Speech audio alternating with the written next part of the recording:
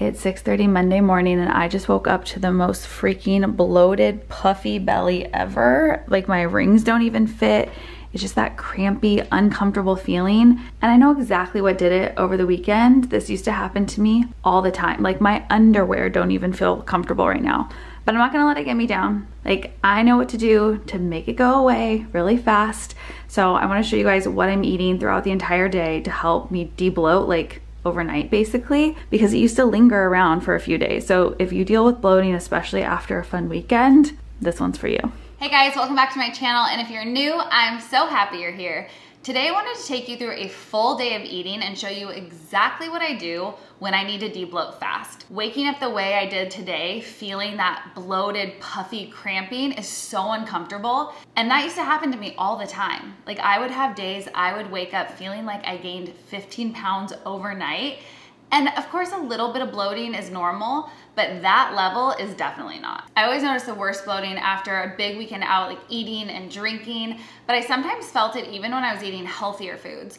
And when I became a certified sports nutritionist, I realized there are definitely foods that you wouldn't expect that can cause bloating and ones that if you add into your day will help reduce the bloating super quickly. So now there's a really specific way I eat to help take me from this to this, like overnight, that really works works. I know I'm not the only one that deals with this insane level of bloating. So if you're feeling a little puffy or if you've dealt with this too, drop a comment with a little puffer fish emoji down below. I know that it sometimes can feel like you're the only one, but I promise you are not. So if you're tired of dealing with the belly bloat that lingers for days, sweat the thumbs up, that just means give it a little click. And if you're new to my channel, it means so much to me if you subscribed. I have new videos every single week sharing my health and fitness journey to help you with yours. All right, so let's get into it. I'm gonna show you the foods I'm eating to debloat overnight and share how I'm feeling throughout the day so you can understand how it's helping. I know for me, waking up this way can feel kind of embarrassing, so I love a compression kind of high waist to just make me feel a little bit more confident. But honestly, one in seven women deal with bloating at least once a week. So it is totally normal. But that level of pain and discomfort also sometimes would make me feel guilty about the choices I was making. So I really have tried to like let go of that guilt and just really focus on feeling better as quickly as possible. So one of the first things I always do is drink celery juice like a full glass. If you can make it fresh, that's the best but this is just pure celery juice and it's still really, really good quality and makes me feel so good every time I drink it. It just really helps get your digestive system working and kind of flush out any toxins. And then I do my little LSF tonic. This starts with a fresh lemon because lemon is loaded with amazing vitamins and minerals that can also really help your digestive system. And when you're bloated, that is the key.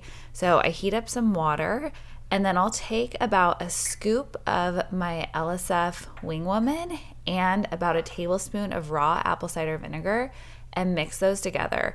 Apple cider vinegar is like, I swear it's like the cure all, but it's really incredible for helping, again, your digestive system get going. You kind of feel everything moving, and having a warm drink first thing in the morning is also super important to help that debloating process start. So I do my celery juice first because I just feel like I like that order. And then the warm drink really starts getting everything working before I jump into the rest of my day. And usually while I'm drinking that, I do some wind removing stretches. These are ones that you'll do in yoga a lot, but bringing the knees up toward the chest can also help with your ascending and descending colons and get them massaged a little bit so any trapped gas can start to get out of the body. And it kind of feels like after you're so bloated, the last thing you want to do is eat but it's really important to be eating foods. It's just about eating the right ones to help reduce that bloating. So I do a smoothie because to me, having something a little bit lighter feels the best, and loading it up with fruits and veggies that are going to help specifically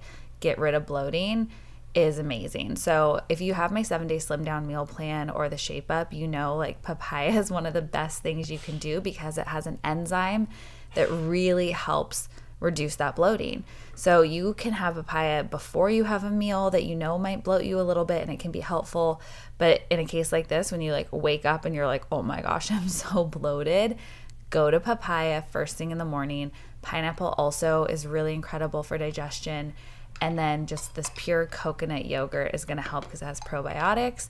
And I'm taking my natural beauty and adding it to the smoothie as well This is my skincare supplement. It's really good for helping like reduce breakouts and create glowing skin. It has marine collagen, like it's just loaded with good stuff, but it also has a PreticX prebiotic, which is incredible for your gut and will help with bloating.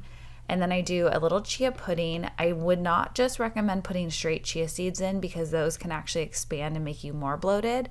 So make a pudding the night before and then use about a tablespoon or two and add that into your smoothie. It'll make it nice and thick, but also you'll get the benefit of the fiber in the chia helping pull out excess water from the body too. And this smoothie is so yummy because it just tastes like a like tropical fruit drink, a smoothie, I guess, but it kind of feels like vacation vibes and is so perfect for summer and just what you need after kind of a night or weekend of being a little bit extra. I refuse to put on real clothes when I'm super bloated. It's just uncomfortable. So I always go for a high waist like the shorts I had on earlier or these leggings. They're just comfy. I don't have to fidget with them. They're nice and high waisted. I like these because they have the V as well. So it's instantly slimming.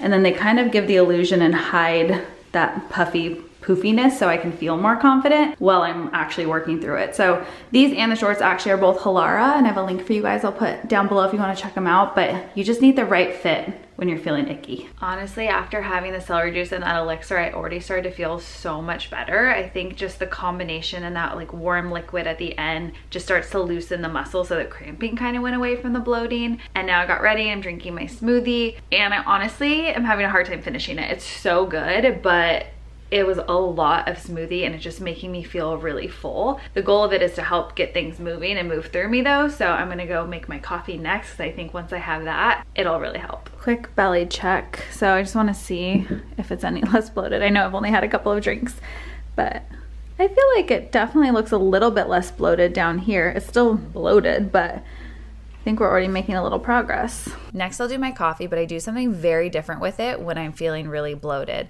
I always do half caf just because I've tried to reduce the caffeine and doing it later in the morning will help lower cortisol levels, which is great in general. But when I'm dealing with this level of bloating, I always add some dandelion root powder because it's a natural diuretic.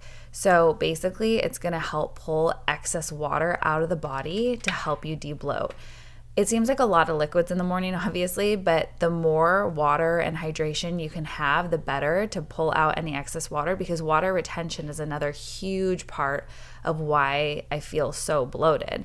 If you have salty foods or processed foods, you're going to be retaining more water. So, that dandelion root powder really helps get rid of any of the excess water as you're bringing in fresh hydration to help continue to push it out. And I do that with a little bit of coconut powder. So I just put this in my water as well. It has those electrolytes. So all of these things are working together. This is totally TMI, but I'm only like not even halfway done with my coffee. And I already went to the bathroom for the second time today. So like, I know it's a lot of liquids and at first you kind of feel like, oh my gosh, I'm drinking so much and my belly's feeling even more full because of everything I'm drinking, but it's working. Like it's really starting to get things flushed out. And for lunch, I'm very particular about the foods that I'm eating because, again, I want to keep it light, but also make sure I'm getting enough nutrition. So instead of doing like a brown rice, which I would typically do for one of my bowls as the base, I'm going to do sweet potato because it's high in fiber. Again, that'll help improve digestion. And then I'm using asparagus, which is also a natural diuretic. So, a really good veggie that has high water and is going to help pull out any of that excess water. And then instead of doing like an afternoon coffee or something, I like to do my Pep Rally Energy Boost because it has green tea and matcha. And both green tea and matcha, again, are going to be really great for digestion. And it pairs really well with this lunch so that they can work together to get everything moving. And just like normal, the key for me is always having a healthy fat, healthy carb, and healthy protein in my meals. I just finished my lunch. I'm just sipping my little coconut water still. I love that lunch so much. It was just such a nice light way to get in healthy carbs and sweet potato can really also help get things moving without making you feel bloated. So I feel like if you have like a grain like rice or something, I always just end up feeling puffier. So trying to keep it like more of those vegetable carbs and the asparagus is gonna help pull all that water to continue flushing your body out. And the key really has been not adding salt to any of my cooking. So when I make like that lunch today, there was no salt added and that's gonna help reduce the bloating a lot too. I totally know when you're feeling bloated and stuff like this, your mind thinks like, oh, I should just not eat, but that's completely the opposite of what needs to happen. Like you need to be eating to help get everything moving through your body to reduce that bloating. Otherwise, you're just gonna sit in that discomfort. For my afternoon snack, I typically have Greek yogurt, but when I'm bloated like this, I try to avoid dairy just because for me, it tends to be one of those kind of trigger foods that can cause bloating. So I'm just doing my coconut yogurt. It's plain, unsweetened. I don't want extra processed sugars or anything like that. Some blueberries, a little cashew butter for a good healthy fat, and then just some coconut on top. This to me is just like a really nice light snack, but it's also making sure that I'm still getting that fuel without eating anything that's going to cause me to become more bloated, which you definitely don't want. That was the perfect little snack. I think that's one of the biggest things when I'm really bloated is focusing on my portions and the right foods because it makes a huge difference getting enough without overdoing it. That was just like light and refreshing. Now I'm going to take a quick walk to keep it all moving. Everything I've been eating throughout the day has been helping me feel less and less bloated, but what I eat at the end of the day and what I do right before bed are truly the biggest game changers and the most important for how I wake up feeling the next day. So I'm making my LSF detox soup. I make this a ton of different ways. The recipes are in my meal plans. But tonight I'm using veggies like squash and zucchini because those ones have a lot of water and again are going to help pull out that water and help with bloating. So I put those in with bone broth, which is super nourishing, adding some chicken I'm going to shred up. I want to make sure that I'm still getting plenty of protein. So I'm getting that with the broth and the chicken breast for sure. I put that on just for about 15 minutes and then I'll shred up all the chicken. So that helps it feel even heartier. Normally I put kale in this, but kale can be very bloating. So again, we're avoiding any fruits or vegetables that cause bloating and sticking to ones that will reduce it. And then I add in an egg and whisk it up really quickly. This not only adds a little more protein, but it also adds a little bit of thickness to the soup. And you can see how like the color changes. And this is just such a yummy, nourishing meal. I absolutely love it. I always stop eating at least two hours before I go to bed. And either after dinner or a little bit before bed, I drink two more drinks that are game changers and like truly help me wake up feeling incredible and so much less bloated. So, one of them is psyllium husk and water. You have to be really careful though. If you have too much psyllium husk and you're not used to taking it, it actually can cause bloating. But if you have just a teaspoon in the water, it does a magic trick and actually like flushes your body out. So, I do that and I follow it up with a little like water and ACV and lemon. That warm drink again helps push it through the body get everything moving so that I can wake up, go to the bathroom, and feel incredible. I was feeling super good and light after having that soup for dinner. And then the psyllium husk and water did make me feel like a little bit puffy again for a minute. But as soon as I had the warm water with apple cider vinegar, I feel like it just went away instantly. And that for me is like the sign of how I'm gonna feel in the morning. So I'm gonna do a quick check on my current bloat situation and then I'll check in with you guys as soon as I wake up in the morning. I did get my rings off, which was nice because they were so stuck earlier and they just like slid off. So that's already a good sign. And then you can definitely see the puffiness has gone down a ton. Um, and that's just in the day. So hopefully when I wake up tomorrow, it'll be like even tighter and less puffy and no discomfort at all. It's Tuesday morning. I haven't even gone to the bathroom yet. Um, but I already feel so much tighter and less puffy. Like you can see my abs a little bit again in the front. Um, yeah, I feel like night and day compared to yesterday and just like lighter, like everything just feels lighter. Um, but yeah, definitely way less puffy, just more strong core. So once I go to the bathroom, I'm sure it'll be even better, but waking up feeling real good. Okay, this is why I always say take photos because looking in the mirror, I was like, yeah, I feel like I look less bloated. I felt like a hundred times better waking up today. But looking at those photos, it's insane. Like, I didn't realize I was as bloated as I was.